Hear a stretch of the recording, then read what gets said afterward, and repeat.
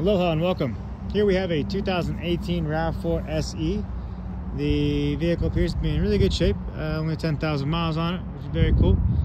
Uh, this is an SE model too, so it has a more sporty tuned suspension, better wheels, tires, uh, more blacked out features like a honeycomb grill, and uh, a few other little aggressive features kind of thing. Um, it's going to be an 18, so everything has radars with it, the emblem, the windshield. Uh, so you have pre-collision, lane departure, automatic high beams, and dynamic radar cruise control. Uh, fog lights for the vehicle, 176 horsepower, 2.5 engine, 25 mpgs average. You know, are going to have these little marks that are vortex generators that reduce wind noise from the outside. Uh, turn signal indicator lights in the mirrors, blind spot monitoring on the mirrors.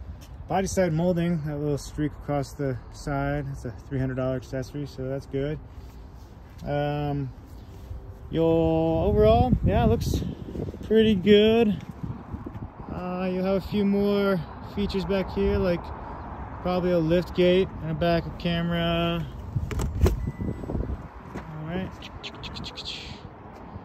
Nice, everything functions well. This is a certified vehicle, so it does have a warranty, um, which is great. I have a seven year warranty kind of thing, one year full coverage, mainly engine and transmission. All right, so all weather for the vehicle, which is great. Shows people took care of the car.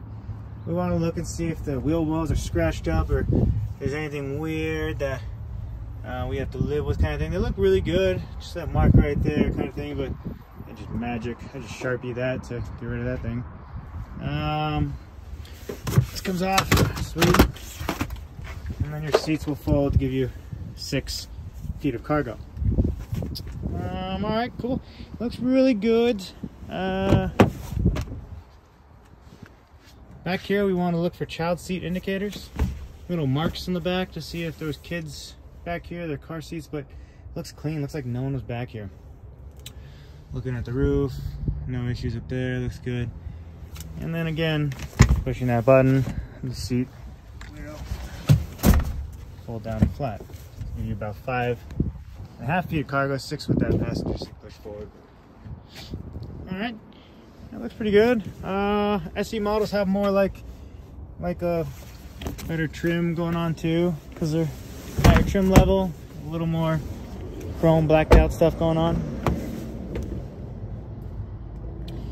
That looks good back here. Looking for anything out of the ordinary.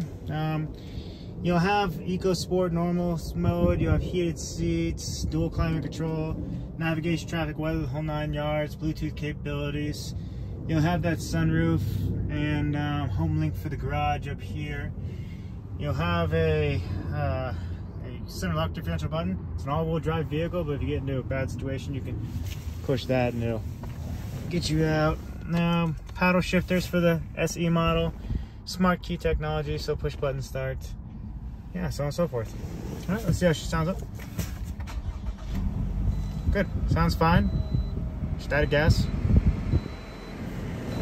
No weird idle, no weak idle, no whining.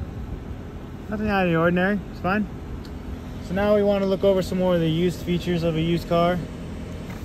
So some things we want to look for is to see if there's any hail in the car, right? There appears to be no hail in this vehicle. We can also look on the aluminum trim to see if we see any hail, but it looks fine, but it is cloudy here. Hail can be seen in different lights. But, nope, I'd say it looks good up here. The vehicle's kind of in a globetrotter, New York, Virginia, uh, Georgia, and then here. And it's Carfax, no accidents, no damage, one owner kind of thing. A um, little bit of misalignment here, nothing dramatic. I can put my side into this and put a little adhesive in there overnight. And that's how I fix my cars, but a little bit of misalignment, nothing dramatic.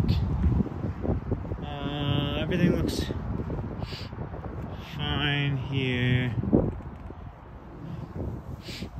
A little bit of misalignment. So we also want to see if things feel weird, uh, if there's any kind of paint imperfections at all in the car. Look along the sides. Looks really good. Ding dent dents on the side.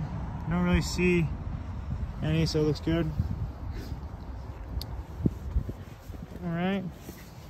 Check in misalignments or anything. No, oh, a little scrape here, kind of thing. It's got a, it's got a few small little dings, but nothing dramatic.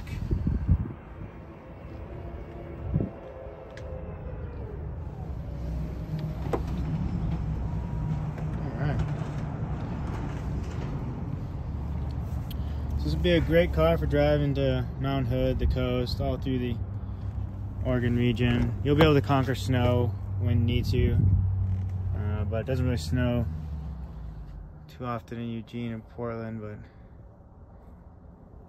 uh, yeah, it looks really good. Um, no complaints with this car. The SE model is definitely more attractive trim level, more aggressive. Really nice.